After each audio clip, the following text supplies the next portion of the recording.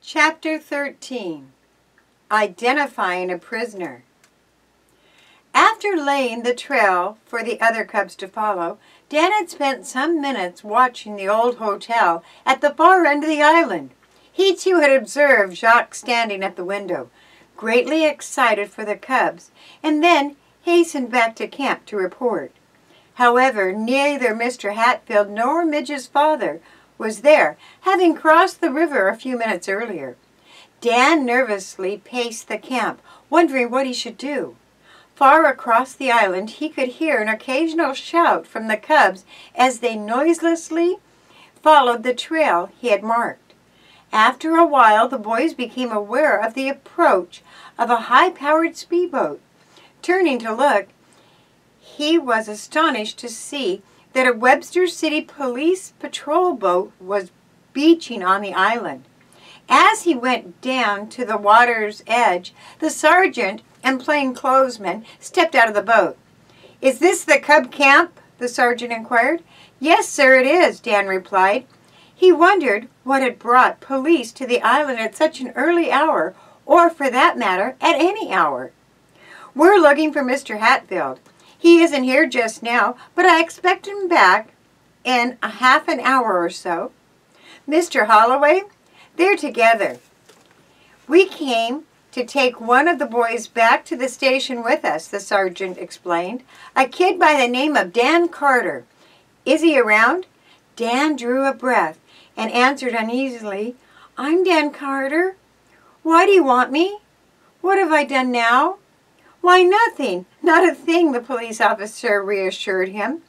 Weren't you one of the youngsters who saw the operator of the motorboat that struck Mr. Holloway's sailboat? That's right, but how did you know?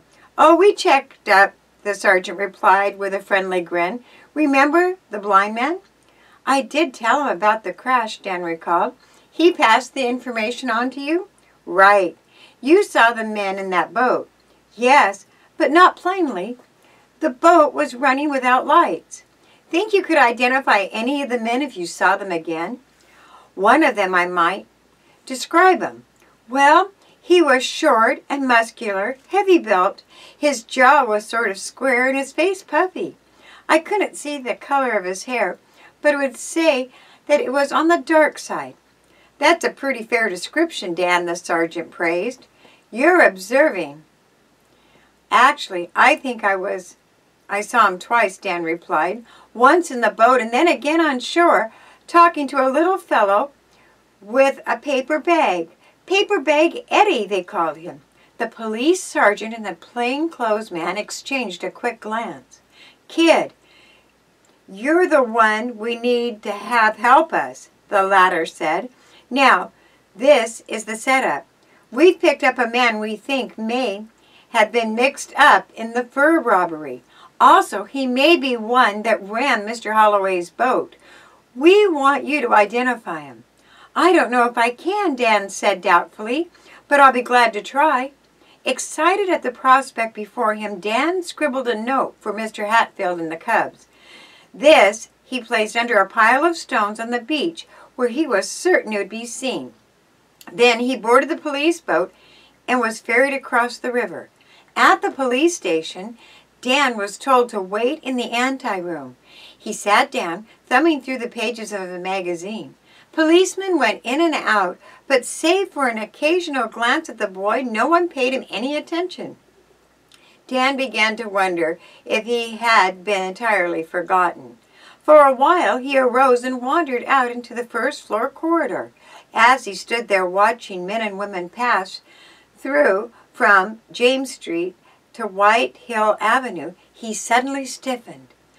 Through the revolving doors came Paper Bag Eddie. The man was alone. His hat had been pulled low over his eyes. His coat collar was high. But he carried a familiar paper sack. A policeman, recognizing the man, stopped him for a minute. Hello, Eddie, he said, eyeing him guardedly. What brings you here? The measles, Eddie retorted. his thin lips curling into a sneer. You got nothing on me, copper. It's a free corridor, ain't it? Just keep moving, Eddie.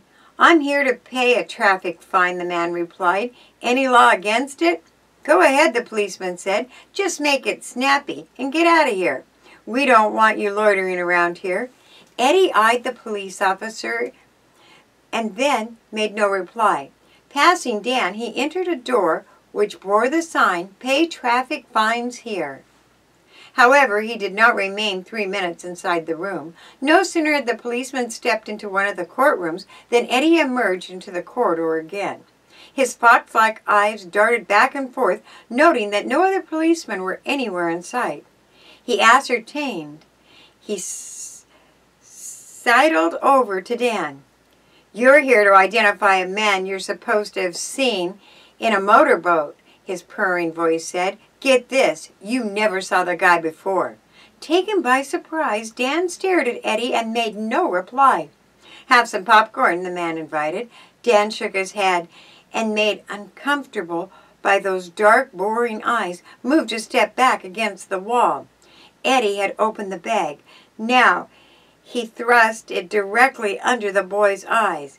Dan saw then that it contained not popcorn, but a 32 caliber revolver. You never saw the guy before, Eddie repeated. If you forget, you'll hear from me. I got a way of taking care of friends and them that ain't. Two policemen had emerged from one of the offices. Dan turned to signal to them. Before he could, Eddie wheeled and departed by way of the revolving door. You're Dan Carter, one of the policemen called, noticing the boy. We're waiting for you. That man who you, you were talking to, Dan exclaimed. Did you notice him? Neither of the police had seen Eddie. He threatened me, Dan revealed warned me not to identify someone in a lineup, and he had a revolver. Now, very much interested, the policeman went outside the building and took a look up and down the street. Paperbag Eddie was nowhere to be seen. Probably held a taxi and made a quick getaway, one of the officers said. Listen, Dan, don't pay any attention to what he told you. It was a bluff. You go in there and identify your man if you can. I intend to, Dan announced, his face grim. He can't scare me. Good, the policeman approved. Now follow me. Dan was led through a service corridor and up an elevator to an inner room. There he was introduced to Detective Jim Blackwell and Sergeant Amos Davis. Now, in a moment, several men will walk across a lighted stage in front of you, Sergeant Davis explained. You'll be behind a screen, protected from view. Don't say anything, but look closely at each man. If you recognize any of them, tell me later. Got it? Dan nodded. His heart pounded with excitement. He had made up his mind to identify the motorboat operator if he possibly could. But he couldn't forget about Eddie and the revolver in the paper bag. Somehow he had a feeling that the threat had not been entirely a bluff. The stage now was flooded with blinding light. One at a time, six men walked into Dan's range of vision. The first three had never been seen by Dan before and resembled no one he had ever known. Dan gave them scarcely a second glance. At sight of the fourth man in the lineup, he stiffened. Although the fellow tried to look unconcerned, Dan could see that he was worried. He knew him instantly as the sailor he had seen talking with Paperbag Eddie. Also, he was reasonably certain that the man was the same one who had operated the motorboat. He's the one, Dan whispered. Sure? Almost positive. The men in the lineup were taken away and the stage darkened. Dan then was led to an adjoining room where he was questioned as to the identification and other information. Dan told the entire story, including his suspicions that Jabowski might be supplying the river pirates with gasoline. He related also how Jacques had disappeared from the cave under mysterious circumstances, the theft of the coded message, and finally of seeing the boy again on the island. It gave me a real shock to see him standing there at the window, he ended the account. I tried to signal him, but I don't think he saw me. After a while, he stepped back out of sight.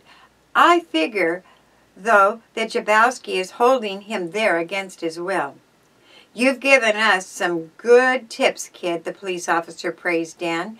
Maybe we'll drop around at the island and give it a thorough going over. A raid on the hotel? You might call it that. Whatever you do, don't arrest any of the cubs that are camped on the island, Dan said anxiously. His remark amused the officers. You figure we can't tell a cub from a crook, he chuckled. I didn't mean that, sir. Dan replied, flushing. We'll look out for your friends, the officer reassured them. Don't you worry. Orders were given for squad members to contact Mr. Mannheim, the island owner, and then to proceed to the old hotel for a search of the premises. We'll take you along with us, Dan, the officer told him. You'll be needed to point out this boy Jacques, who is being held prisoner, you say. In the squad car, the boy was driven to Mr. Mannheim's office. As his accusations were repeated, the island owner bristled with anger. Tommy Rod, he exploded. My man Jabowski is to be trusted completely. This boy must come be out of his head. Such gratitude. And after all I've done for the Cubs. After storming about for a while, Mr. Mannheim agreed to accompany the police to the island. During the swift boat ride across the river, he refused to speak to Dan. At the cub camp, Mr. Hatfield and Midge's father both had returned. Already they had received a report from Brad and the other boys, but to see Dan arrive with a squad of policemen was somewhat of a surprise. I hope you're making no mistake, Mr. Hatfield remarked to the boy after he had been informed that the hotel was to be searched. Mr. Mannheim looks as angry as a hornet. If you should be wrong. All the cubs saw Jacques at the window, Brad said, coming to Dan's defense. The boy must be somewhere on the island. While the cubs and their leader approached the hotel by an overland route, police made a swift motorboat descent upon the building, tying up at the old dock. Accompanied by Mr. Mannheim, they presented themselves at the front door. There was no response to their knock. I should have I should have a key, Mr. Mannheim said, searching in his pockets for it. Don't know what became of it. I've not used it for six months. Just then an upstairs window opened and Jabowski looked down on the group. What do you want? he demanded. Then, recognizing his employer, he said, Oh, it's you, Mr. Mannheim. Open the door, the island owner ordered. Police insist on searching the place. I'll be right down, the caretaker replied, leaving the window. A moment later, he unlocked the front door, staring curiously at the members of the police squad.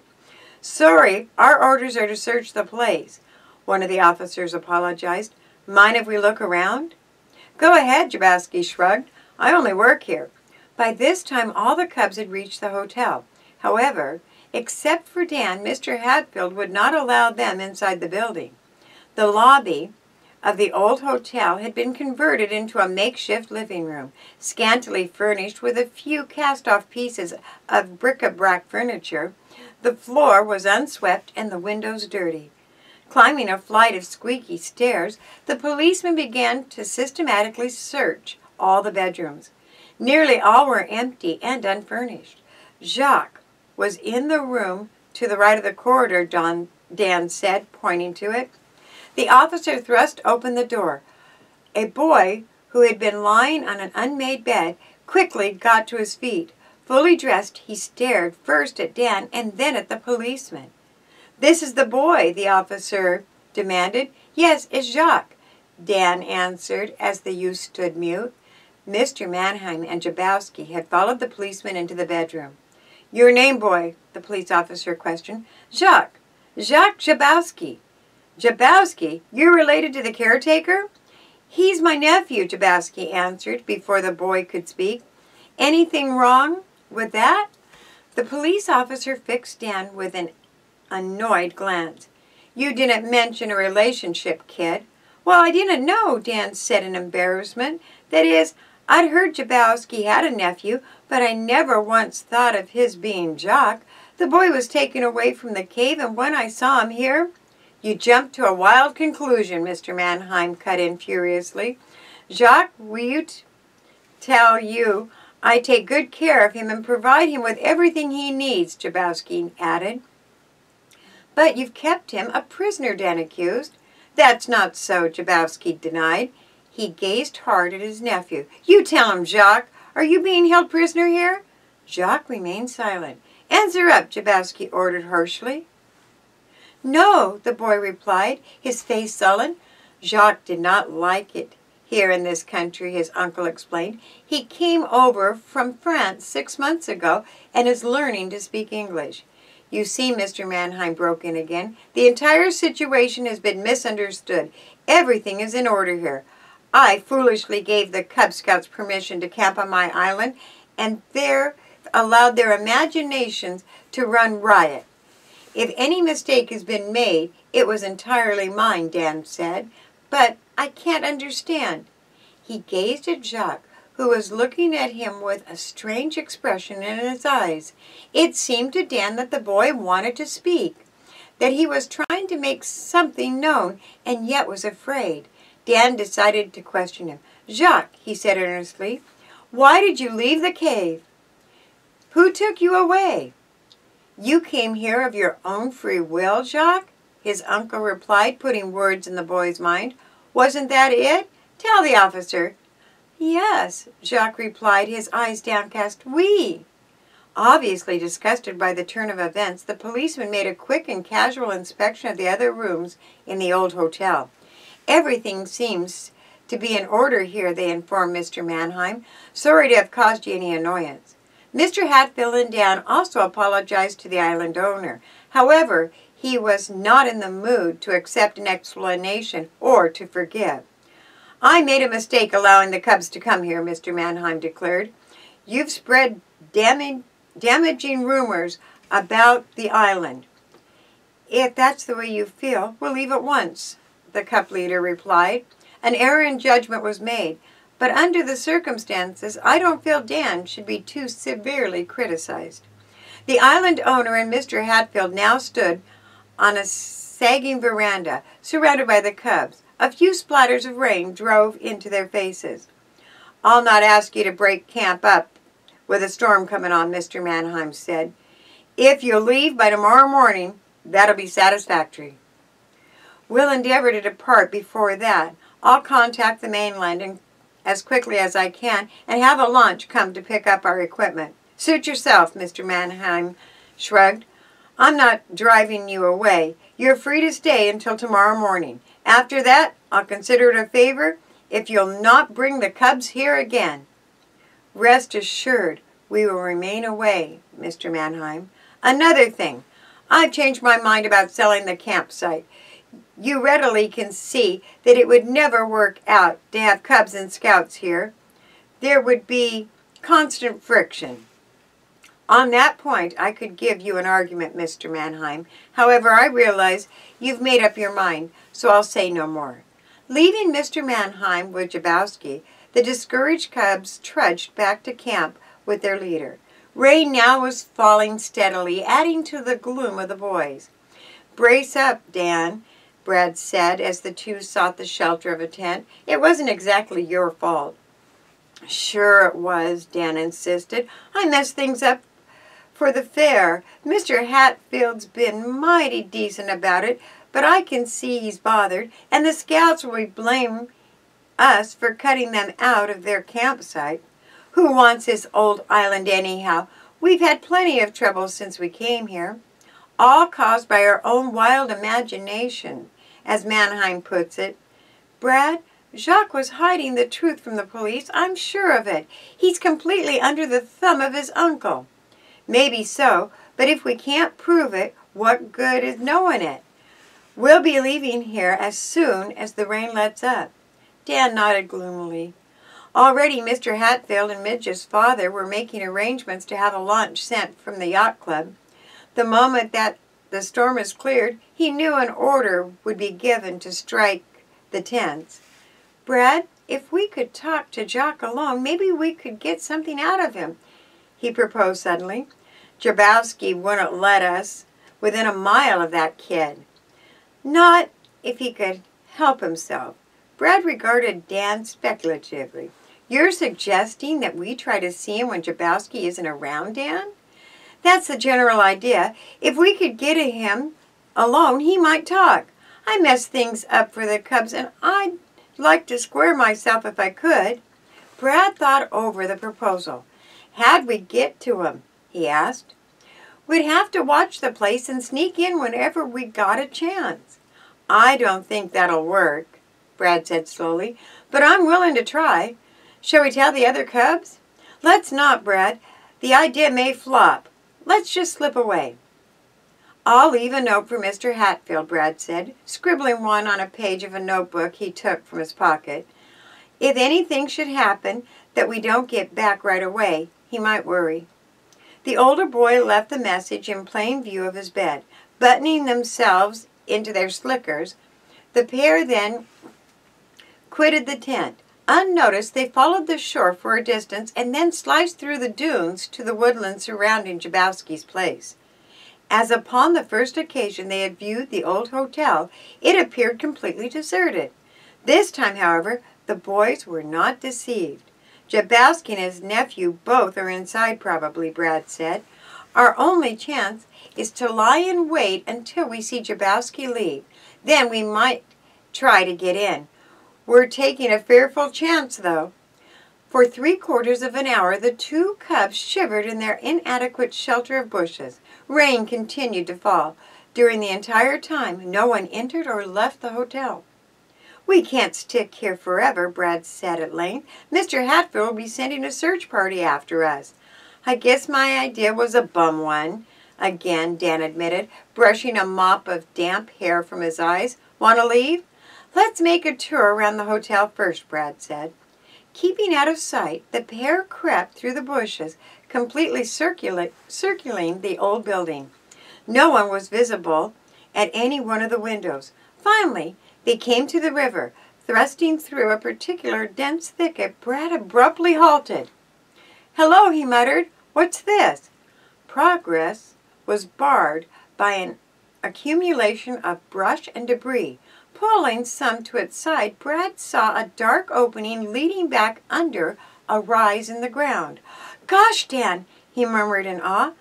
This looks like an entrance to that old tunnel Mr. Hatfield told us about. It sure does, Dan agreed excitedly. And someone's found it ahead of us. The sand which blocked the entrance was dug out, and then the opening hidden by all that brush. Let's find out where it goes. With no thought of personal danger, the boys pulled away enough debris to permit them to squeeze through into the dark tunnel. In years past, it had been bricked over, but now water oozed through many breaks in the wall and low ceiling. This must lead to the old hotel, Dan said, groping his way along the damp wall. Maybe we'll get in after all.